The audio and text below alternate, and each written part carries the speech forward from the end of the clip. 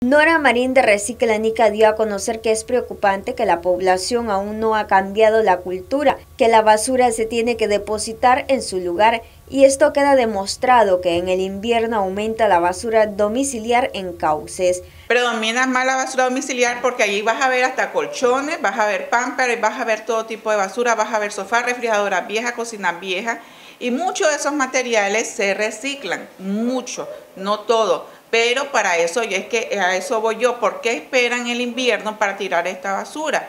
Este, no, porque no la sacan en el momento que pasa el camión, que se la lleve, no que siempre, siempre, esperan el momento del invierno para tirar este tipo de materiales.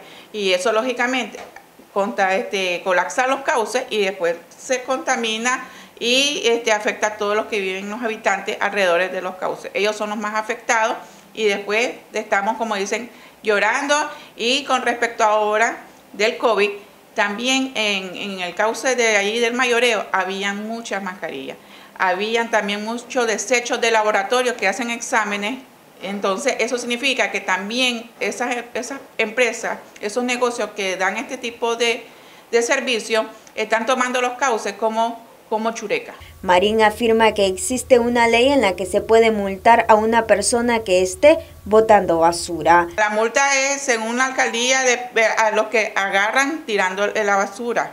Hay una ley que la aprobó la alcaldía, ya tiene años de que se aplica. Incluso también hay una ley en la ley de tránsito que la pueden buscar de que toda persona también que tira basura eh, cuando va en su vehículo, también a esa persona se le puede aplicar la ley de tránsito con una multa también.